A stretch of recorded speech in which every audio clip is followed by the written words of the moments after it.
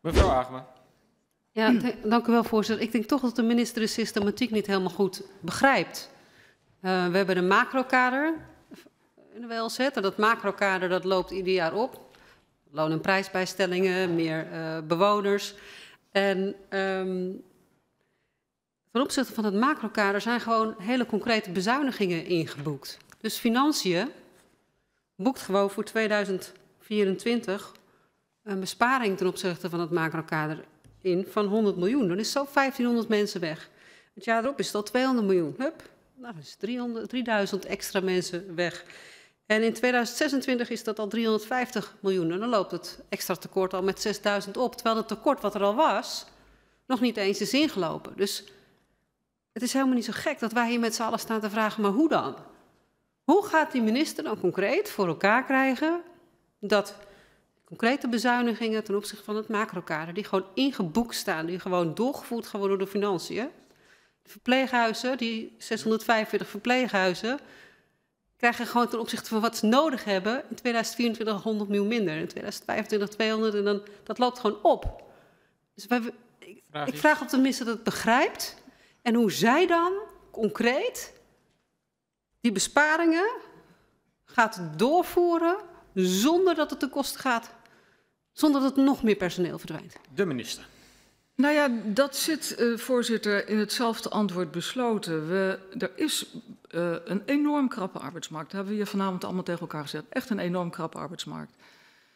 Ik heb al jaren haast, ook voor deze positie, om te zorgen dat we ons daarop voorbereiden. Want het heeft geen zin om te wachten en te rekenen op mensen die er niet zijn. De zorgvraag neemt toe.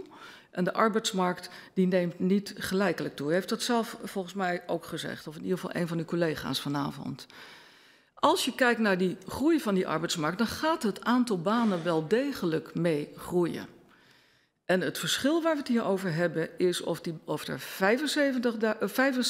65.000 banen bij komen of 75.000 banen. Of je, maar net hoe je rekent, of je in aantallen fulltime of niet fulltime rekent. U heeft het over 6.000, ik heb het over 10.000.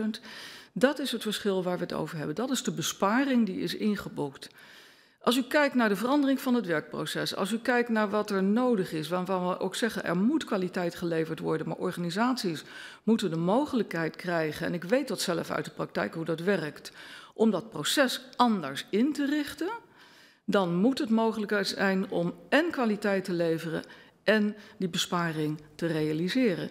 Ik zie dat echt voor me. Ik kom uit de praktijk.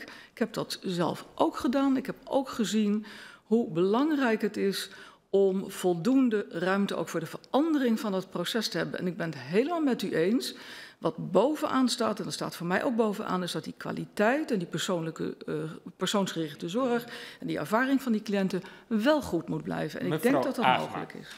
Ja, dank u wel, voorzitter. Ik denk dat de minister het echt niet snapt. Het spijt me. Maar um, kijk, er is een enorm arbeidsmarkttekort, maar niet in de zorg natuurlijk. In de zorg en de verpleeghuiszorgen werken 222.000 mensen. Maar een heleboel mbo'ers en hbo'ers, van de hbo'ers werkt na school, uh, na hun opleiding, um, maar 30% voltijd.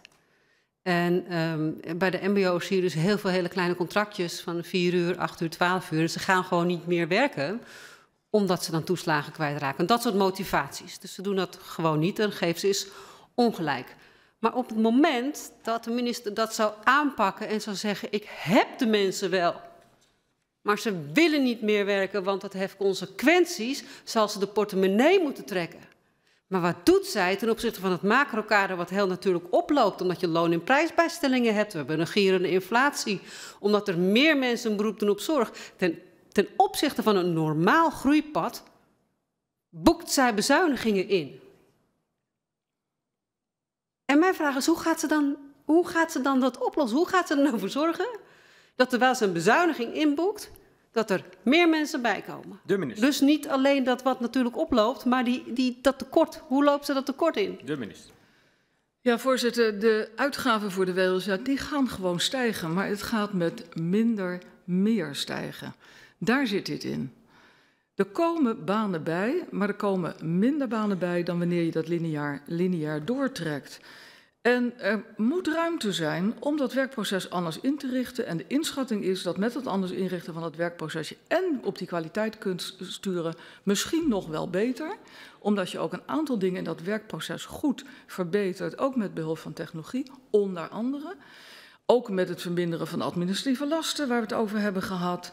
Helemaal mee eens. En dan kun je en kwaliteit leveren en het toch met net iets minder uh, uh, doen dan wat we zouden doen als lineair doorgaat. En u doet voorkomen alsof we ongelooflijk hard bezuinigen. Dat is niet waar. Mevrouw Agema, echt tot slot. Het is, ja, voorzitter, met minder meer met minder meer minder kom je meer. nooit tot minister, meer meer. Dat is het hele probleem, voorzitter. Met minder meer kom je niet tot meer meer. Als op dit moment ten opzichte van de kwaliteitskader verpleeghuiszorg, wat uitgaat van ongeveer twee medewerkers op acht bewoners tijdens piektijden. Er zijn allerlei variaties in, maar dat was die 2,1 miljard waar die ooit op kwam. Dat, is, dat was toen een tekort van 77.000 mensen. Daar is wat op ingelopen. Nou, er was zo'n 30.000 deeltijders uh, op dit moment nog, uh, begrijp ik, voorzitter. En als je dan gaat zeggen, ja, maar er komen wel mensen bij, maar het wordt alleen maar minder meer, terwijl je dus meer meer nodig hebt, vergroot je de problemen in de verpleeghuizen. En ik probeer de minister duidelijk te maken dat als hij hier met verhalen komt van, ja, maar er komen meer mensen bij. Ja, maar als je, als je er twee, als je acht verpleeghuisbewoners extra hebt, heb je er dus een stuk of acht medewerkers ook extra nodig en niet zes. Dat is waar het om gaat. Als je 100 verpleeghuisbewoners meer hebt, heb je 100 extra medewerkers nodig en niet 80. En dan kan de minister wel zeggen, ja, maar er komen er toch 80 bij. Maar dan heb je er toch 20 te weinig en dan wordt dat tekort alleen maar groter. En dat is wat ik de minister duidelijk probeer te maken. Hoe gaat zij met minder meer, meer meer bereiken? De minister.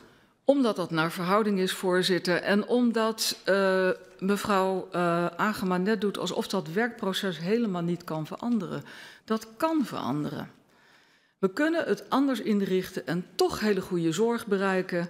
En nogmaals, het is naar verhouding niet een bezuiniging waarmee je zegt: ik gooi in één keer die hele norm weg. Dat is gewoon niet waar. Maar we willen dat die minder rigide is minder rigide met een beperkte besparing ingeboekt. Nee, maar Voorzitter, ook hier een persoonlijk feit. Het kwaliteitskader verpleeghuiszorg was juridisch verplicht. Dat is het niet meer. Er is nu met een heel walgelijk woord een noodremprocedure. En die noodremprocedure betekent 100 miljoen in 2024 oplopen naar 350 miljoen. En als de minister-president niet zint, dan wordt de noodremprocedure en gaat er straks een miljard af. Want dat is de realiteit en dat zijn de feiten. En ik ben het zat, voorzitter, dat ik iedere keer hier debatten sta te voeren met ministers die mooie praatjes houden en zwetsverhalen houden. Het wordt niet, het moet minder, het moet niet minder meer worden, het moet meer meer worden. Er staan geen mensen meer aan het bed, er worden geen handen meer gewassen, er worden geen luiers meer verschoond. Incontinentiemateriaal, sorry voor de professionals. Dat is wat er gebeurt. Er staat zo direct helemaal niemand meer aan het bed. Dat is wat er gebeurt. En dan staan wij hier onzindebatten te houden. Over, over, over semantische discussies staan we hier met elkaar te voeren.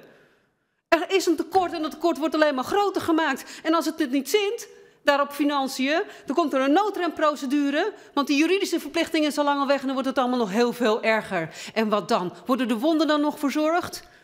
Worden de haren er nog gewassen? Worden de tanden nog gepoetst? Krijgen de mensen nog, is er nog, krijgen de mensen nog eten? Er zijn wel medewerkers.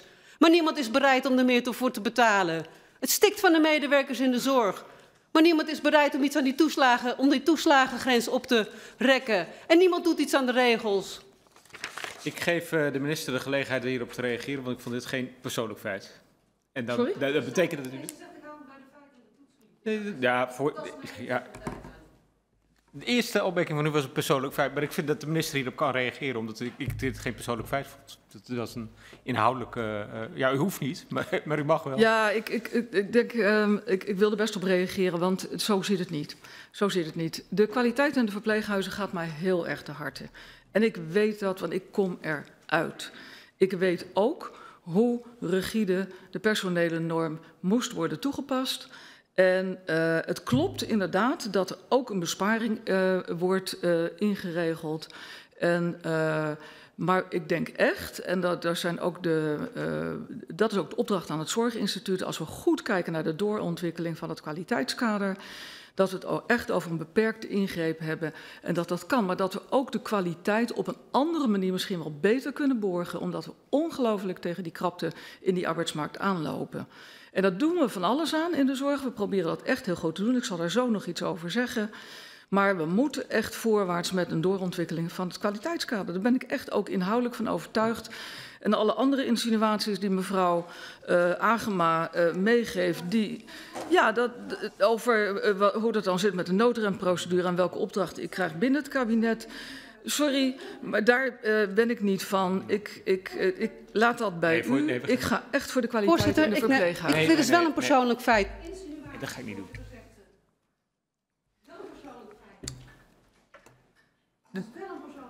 Ik heb u het woord niet uh, gegeven, mevrouw Agema. Ik heb het woord niet gegeven. Ik wil mevrouw Pauw, ik, ik wil mevrouw Pauw Verweijen uh, de mogelijkheid geven.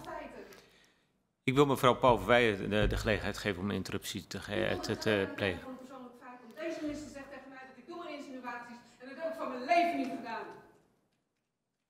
Ja, ik geef het woord aan mevrouw Pauw Verweijen. U heeft drie interrupties en een persoonlijk feit kunnen, uh, kunnen maken. En, uh, dus...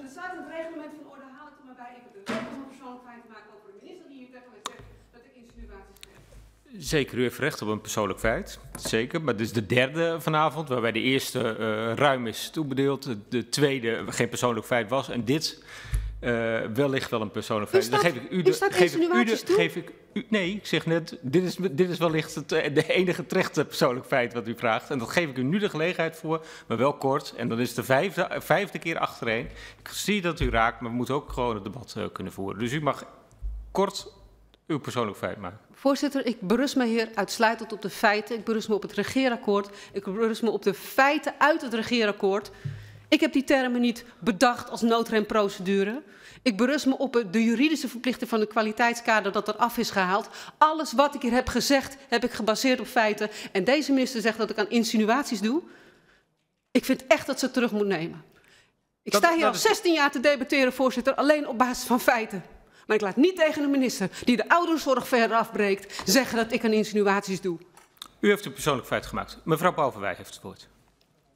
Mag ik daar nog op reageren? Dat mag, voorzitter? als u dat wil. Ja. ja. laat ik dat doen. Want ik ken mevrouw uh, Agema ook als iemand die echt hard voor de zorg heeft. Dus uh, als ik uh, u daarmee beledigd heb omdat ik het woord insinuatie heb gekozen, dan neem ik dat terug met excuses. Want dat bedoel ik helemaal niet. En ik weet dat het u ook raakt. U heeft echt hard voor de zorg. En, uh, maar het raakt mij ook als u mij op deze manier aanspreekt. Want ik wil echt voor de kwaliteit gaan. En dat hoort bij debatteren, dat weet ik. Maar je weet ook dat ik nog niet zo heel lang op deze plek sta. Dus uh, ik hoop dat u het mij vergeeft het dat helpt, ik op het deze misschien manier ook als u via de voorzitter spreekt. Ik heb het vanavond niet al te zeggen. Ja, maar het ja. helpt wel. Dat merk ja. ik uh, hier aan dit soort discussies.